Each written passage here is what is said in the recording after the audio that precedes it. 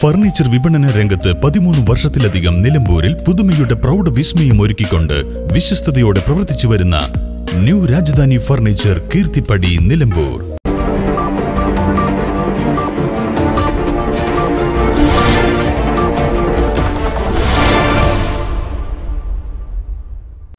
സംസ്ഥാന പാത നിർമ്മാണത്തിൽ കാളിക്കാവ് പൂക്കോട്ടുംപാടം റീച്ചിൽ മങ്കുണ്ടിൽ റോഡ് ഉയർത്തുവാൻ നടപടി വേണമെന്ന് A P Anilkumar M L A ആവശ്യപ്പെട്ടു. മഴക്കാലത്ത് റോഡിൽ ഉണ്ടാവാറുള്ള വെള്ളക്കെട്ടിന്റെ പ്രശ്നങ്ങൾ ഹൈവേ പ്രവൃത്തി ചുമതലയുള്ള K R F B assistant engineer Prince അടക്കമുള്ളവരോട് ചർച്ച ചെയ്തു. ഇനി മുതൽ ശുദ്ധമായ വെള്ളം മാത്രം കുടിക്കൂ ആരോഗ്യം സംരക്ഷിക്കൂ. Grand aqua water purifiers and filters near A I camera Palunda Edakkara. Phone nine seven four five five double one one two three.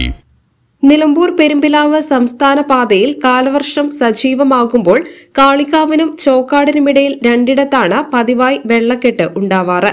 Kalikavu junction സമീപം മങ്കുണ്ടിനും ശ്രാമ്പിക്കല്ലിലുമാണ് തൊട്ടടുത്ത പുഴ കരകവിഞ്ഞ് വെള്ളം ഉയർന്നു പൊങ്ങുന്നത്.